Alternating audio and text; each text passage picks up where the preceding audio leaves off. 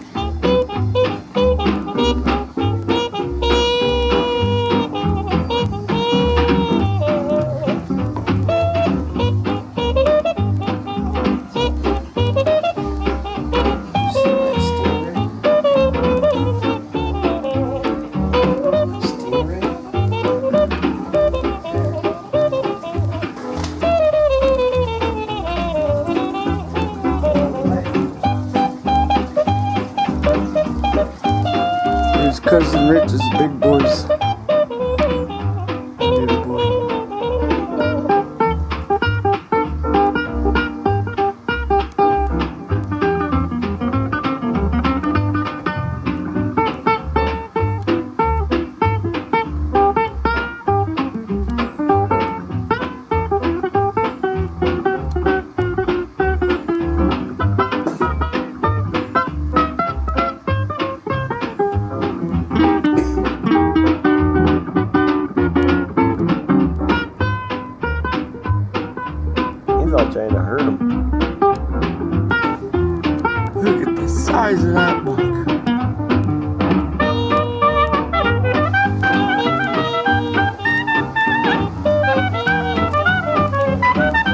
Here we are, Rocky Mountains of Colorado. Looking for the big elk. Possible campsite number one. Most likely our home for the next few days.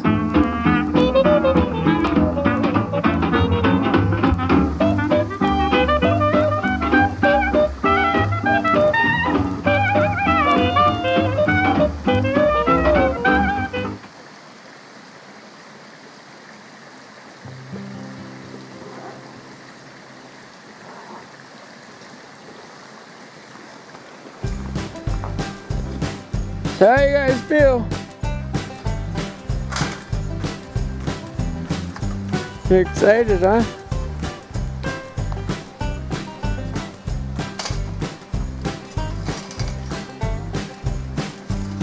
Hey, Harley. Help Rich. Help Rich.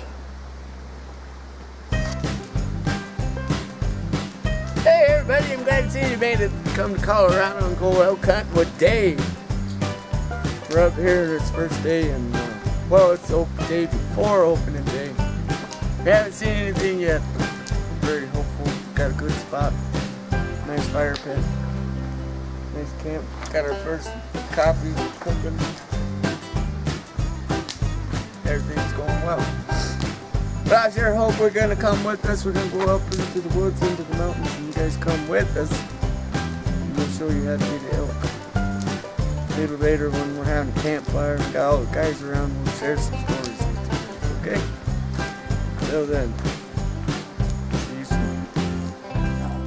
That's what I thought first. That's yeah, little night firing. Well, oh, they said they weren't. Oh, they can't do that. They were even made. They were even Well, I- I tracers. just asked. They were even make tracers. Unless it's belt fed. I guess there's No, I belt bought it. tracers. There's some more. You can buy them. You can buy them because they have them for all calibers actually. Um, move. just because guys, uh, you know, want to start firing that stuff. But it's Usually when I see that guy in the corner, I gotta take my pants off. Hey, it's time to go to work.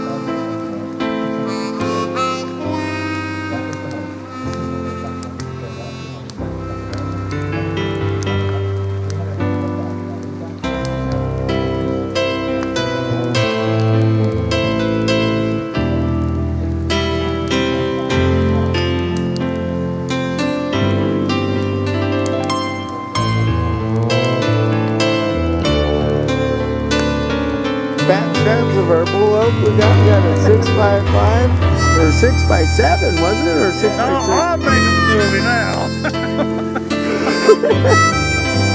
yeah, yeah. That's an elk.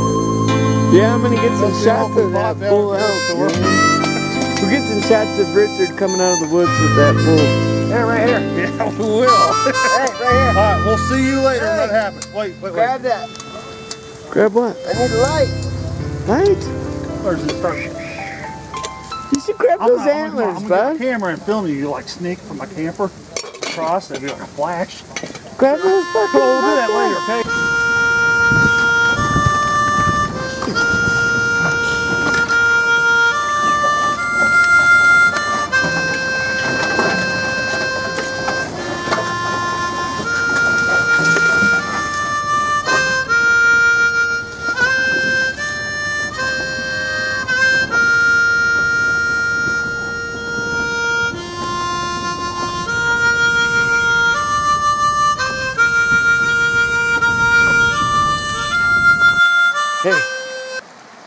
We are, about 12,000 feet here in Rocky Mountains of Colorado, marrow of the world.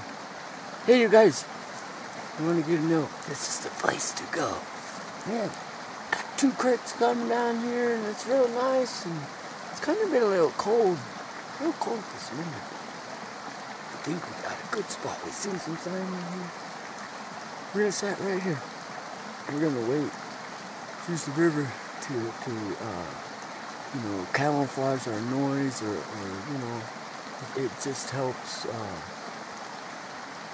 helps you with the noise you make. It, it covers that noise up. So we want to hunt right here next to this river so hang on and, and uh, we'll see if we get one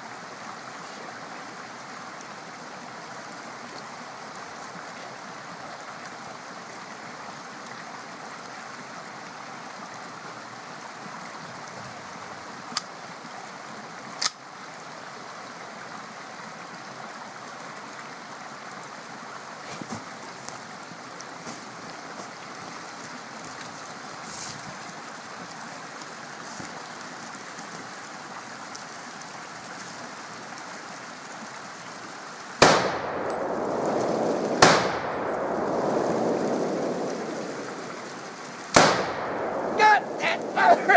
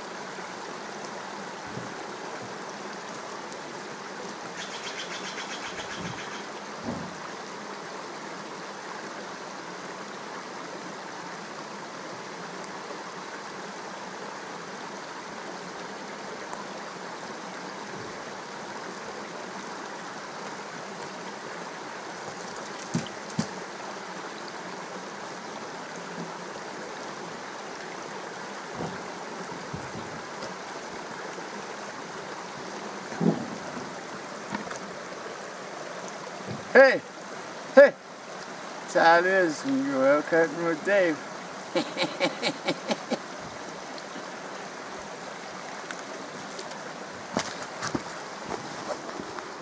okay.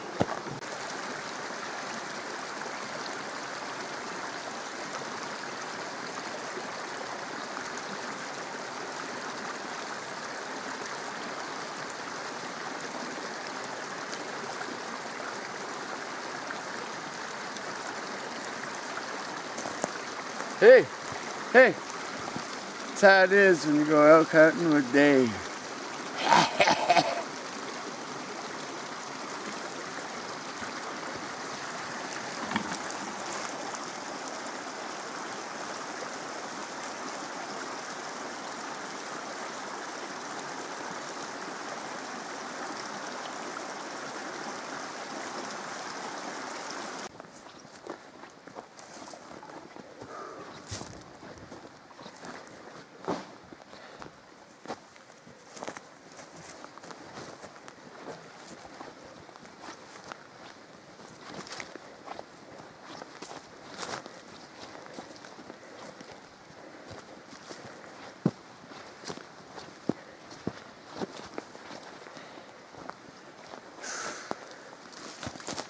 Rocky Mountains of Colorado are about 12,000 feet.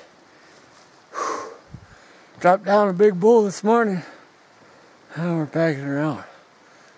Couldn't get the shot on film, but or the bull go down on film, but we did get the shooter getting the shot off, so we'll have all that with when we get back to city life. But, whew, my my advice to you is get them next to the road.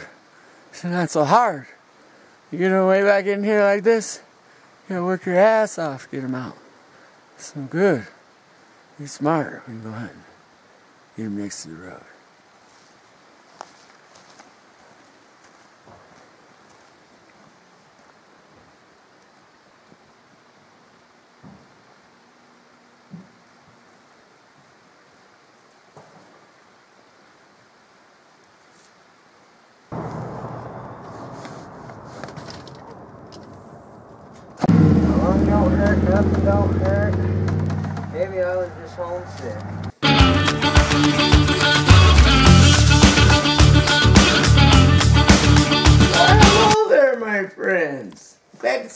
It. I, I guess you still want to go hunting with Dave, huh? Well, I just wanted you to know that when you come for your hunt trip, you could buy one of these here walking sticks for $80 a pop at any one of the local walking stick stores here in Colorado. Or, or you could be like me, man, and be like walking down the trail and go, whoa, right there's a staff of Moses. And uh, grab one of those and they're free. And I'll tell you what, they're all over the uh, Rocky Mountain. So don't waste your money on one of these $80 walking sticks and you could get one just like Moses and free. Free. So today I wanted to talk a little bit about elk hunting in Colorado. And and one of the most important things about elk hunting in Colorado is always be ready and expecting to get one. No matter where you go and what you're doing, always expect to, to have one standing there and you're gonna get one. Never think you're not going to get one. Because, you know, that's the thing with elk, that they're like ghosts and they'll pop out anytime and any place. I remember, man, back in the day, we would sit back and, we'd be there, and one of the th- misperceptions you think of elk is they're always to come walking out in this sweet, beautiful meadow. So, so you're always want to go and hunt right on that meadow, and in reality, that's worst place we want to go. They're actually back in the woods hiding where the mud puddles and the waters and, and things of that nature. And there's plenty of food back in them hiding spots. But I remember sitting back and, we would be so quiet, you know, everything. You, you take your time. Remember when you come to Colorado, not just to enjoy the elk, but enjoy the entire scenery. You, you can see uh, marmots, you know, I've been out and, and we have all kinds of marmots out there and, and really cool, man. They, they bark at each other and not a prairie dog, but, but an actual marmot. And they're, you know, quite a bit bigger than, than a prairie dog. You know, we've seen uh, some yellow uh, uh, weasels. You know, and it's always cool if you act like a little mouse and you could call that little weasel right up to you. Come looking for the mouse, you know, and, you can play around with those things, you know. We, we, we got all kinds of different things, and a lot of it is being as quiet as you can. So even with your clothing and that, you want to wear clothing that's not going to rub and make all kinds of noise and, and friction noises, because anything that disturbs the natural uh, wilderness is uh, something new, and when it's something new, you're, you're they're running off and, and afraid of it. So be very, very quiet. You know, I remember one time we were sitting there, and me and my cousin are there, and he's like so quiet. We were being so quiet. This bird comes right out of the sky, you know, and lands right on his the tip of his rifle. And true story. And we were like, psst, psst. We are so quiet. It's like even the birds don't know we're people, right? So, so we've seen all these kind of animals and, and different things, birds landing on the gun, and, and never saw an elk. Never saw an elk. Then later that night we're head back, you know, and, and best friend when you're hunting is either brandy or, or uh, peppermint schnapps. I, I love a little bit of peppermint schnapps and go out hunting. So, so you sit there, you know, it's late afternoon, and, and you know, first bottle of schnapps is gone, and here we are in the second bottle, and everybody's talking pretty loud, you know, and hey, there ain't no elk out here, you know, and walking along, and okay, we're gonna go out to this hunting spot, and yeah, go out to this field where we never see them, and they're never at it boy, laughing and giggling, and, and all of a sudden, you know, Buddy falls down, trips on the ground, and we're laughing. Yeah, you fool, you know. All of a sudden, look up, and there's 30 elk standing right there in that, field right there, looking right at us. Man, everybody whipped out their guns and boom, boom, boom, boom, go through a whole clip, and they're still standing there staring at us. Oh man, I got another clip here. Four more, boom and yeah, you know, weed and whiskey without elk hunting is just camping. And unless you're willing to have a good time, you just ain't gonna see the elk. And getting one isn't a part of the good time. Because when you get them, man, then there's problems start. You gotta get the workout and all those things. So always expect to see one. Always expect to get one. And uh, you know, don't don't worry about things like smoking cigarettes. You know, one thing you don't want to do is walk through the woods while you're smoking, but if you just stop and chill out, smoke a little cigarette. And they always have that spray stuff, you know. You could spray your stuff down with the stuff and it makes you smell like mud. That stuff really does work. It, it, I've had better success seeing elk when I sprayed my stuff down with mud. But, but don't worry about that because at the time we're going to be going in the late third season, you know, we got a lot of cows and we got the bulls, and the bulls are hanging out with the cows. Right? And, and so never think that the bull is the leader of the group. Actually, it's the cows which are the leaders of the group. And the bull just follows those cows around. So there's no greater way to find a, a nice bull out than, than to piss all over yourself with, with elk pee. And we got some of the finest grade, high grade elk piss here, and, and we'll cover you and all that. There's nothing funnier than coming back into camp and, and smelling your buddy 10 feet away going, Whoa! Yeah. You out there making love, buddy, you know? And so we got plenty of that stuff uh, available, and it all works, you know? That's the thing is, uh, some people take that elk and spray it in, in the air, others just use it as cologne. Either way, you know, as, as closer they come into to you or seeking you out, you know, and the better your chances are.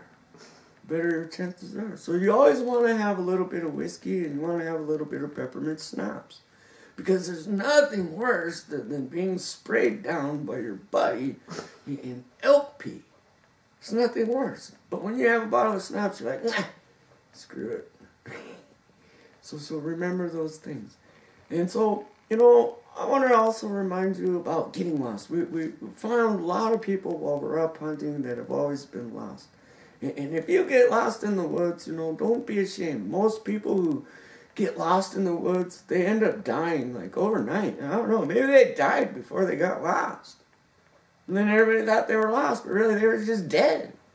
But it's because of guilt and shame. They're, so ashamed, of, so guilty of being so ignorant that they got themselves stupid ass lost. They give up. They just give up and end up dying. So never give up. And that's the thing. Always talk to people when they're walking up and down the road. So I remember one time we were young and this guy was like 14 years old, this kid. He, he's got a BB gun with birdshot in it. Right? You don't even have a, or, or not a BB gun. He had a 22 with birdshot. Excuse me. Excuse me. Close. Close to a BB gun. And he's tracking coyote tracks in the middle of a snowstorm. So a snowstorm can come in at any time. And these are blizzard snowstorms where you can't see 100 feet in front of you. And so we're walking along, or he's walking up the road, and we drive by him, you know, and see him and give him the wave, and, and we head off. And, out hunting and a little bit, and we come back and the guy's still walking same direction. Hey man, what's going on? How you doing? You know, oh not too bad. I was tracking this coyote and I never could find him. Uh, I'm heading back to camp.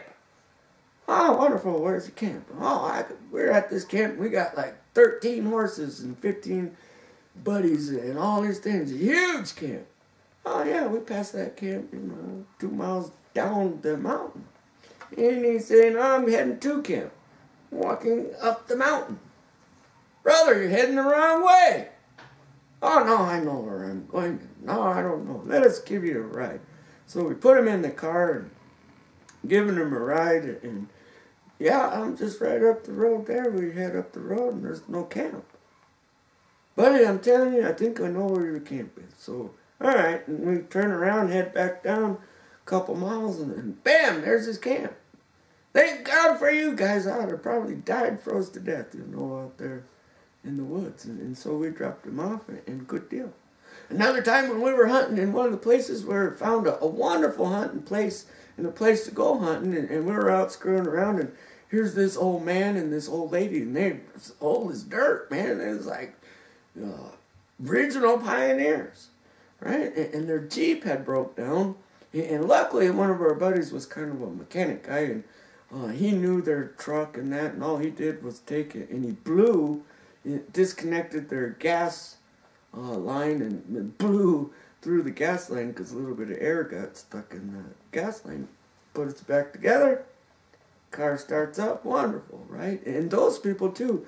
Oh, we've been here for like six hours waiting for someone to help us. And if we wouldn't have stopped and said hello, uh, they probably wouldn't have got no help. And our reward for helping them was they unleashed unto us some of the world's finest hunting spots that, were top secret, man. And, and even the old man said, and this guy is Frontier. Yeah, I was over here a couple weeks ago, and that's what they were out cruising around. He saw a trophy buck deer that was uh, as big as an elk. You know, it's huge buck deer. And we got giant bucks, man. I, I'll tell you what my Uncle Jack, man, God rest his soul, he's uh, no longer here, but you know, that's one of the reasons we have such a strong uh, elk herd in Colorado, man. This guy, he, he was top of the line. I remember one time they, they went out and they had nine elk tags, and Uncle Jack comes back with 13 elk, right? and poor Jack, he, he passes on. But uh, now the elk herd are back to full strength and running around because uh, great white hunters like him are, are, no longer there. But anyway, I want you guys to, to, to know that, that helping people out as being a hunter in Colorado is being a good neighbor, and that's always a good thing. I remember another time when we were out hunting, and we were there, and this was just a year or two ago, and these two old men were way back in and they were like three miles lost from their camp. And these two guys, man, they swore that they knew where they were going. They're like 70 years old, and, and God bless them that they were able to, to be out there, you know, 70 years old, three miles lost from their camp. But we find these two guys in the middle of the night, and it's like 10 o'clock, you know, and try to tell them, yeah, hop in the truck, we'll take you up to camp, you know, and, and they were lost for hours. And they were so old and so tired that they took them like five minutes to crawl into the truck. You know, their their bodies and legs were completely exhausted. So it was a great blessing for them for us to be there. And then we end up taking them back to camp and, and dropping them off. And yeah, right there's your camp there, buddy. You know, and uh, he gets out of the car and, and starts heading down down the road back into the black wilderness. And whoa, whoa, whoa, bud, no, no, right there's your camp, you know. No, I don't know about that. I think our camp is over here. All right, bud, we know the mountains real well, and, and if you continue walking down that road, you're not going to find nothing, but good luck with that, you know. You just got saved in that, and now you're. And a lot of it was, see, guilt and shame. I can't admit I was lost. I can't admit I was uh, so dumb to not even know where my camp is, and certainly don't want a stranger telling me where to go. But in that, you know, uh, always be available and ready to help someone. You never know. You know, I remember when my uncle Jack got his buck deer. He's got one it was so huge, man. It's it was uh, world record like big, man. This thing had baseball bats for the size of its base of its horns, and uh, you know that's the thing. We we in our family, we we are Colorado bred, Colorado grown. My grandpa owned and operated Castor Sporting Goods. And in its day, it's no longer here, but in its day, it was one of the most popular sporting good places to go. You know, Grandpa there would uh, shoot cans off the top of Uncle Jack's head. And, and, that was cool stuff. You want to talk about being a marksman? This guy uh, never did kill his son. In fact, Uncle Grant, man, one time he took a, a gun and a mirror, and he had a mirror and a gun and, and, a, and a knife. And he split a bullet with the knife, shooting with the mirror and gun in the back of his thing. And if you can believe that one, then you would believe this. One time I was out there hunting, and this thing always absorb everything you're looking. And you might find a spur like that. This is an old cowboy spur, and man, I swear to God, it's so old. I'm sure it's Butch Cassidy's. It's gotta be. I found it in Telluride, man, and that was one of the first banks they ever robbed. And, and if Butch Cassidy ever lost a spur, if somebody was gonna find it, it, it would be Dave. And that's why you want to come hunting, Dave.